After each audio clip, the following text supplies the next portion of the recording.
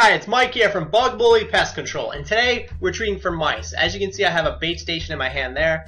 Put some First Strike bait in it. I'm going to use some snap traps, glue boards, and also some tracking powder. So what's happening in this case is the mice are getting up on top of the countertop there, and they're eating the bread and just causing a big problem.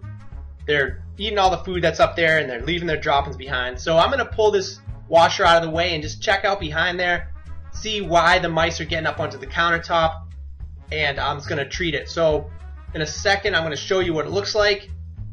So here we go. And it looks like there's a hole that they were coming out of. You can see the mouse droppings there and there, I put some steel wool in that hole and also I'm going to treat the hole to the right. So it looks like they're still coming out of that.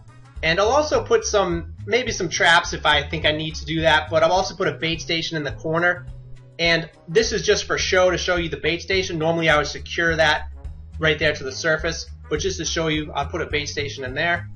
And also check under the sink.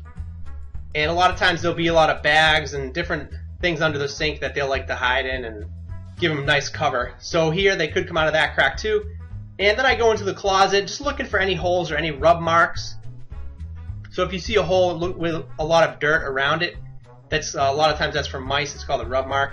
So again, check it out. And one of the biggest things here is the drop ceiling. Mice love going in the drop ceiling.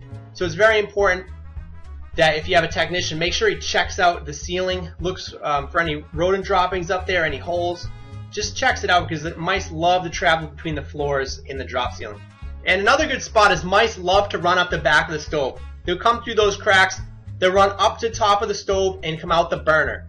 So that's how they get on the top of your stoves. They run up through the burner. All right, so it's Mike Wrightson here from Bug Bully Pest Control. I'm going to finish up with this job.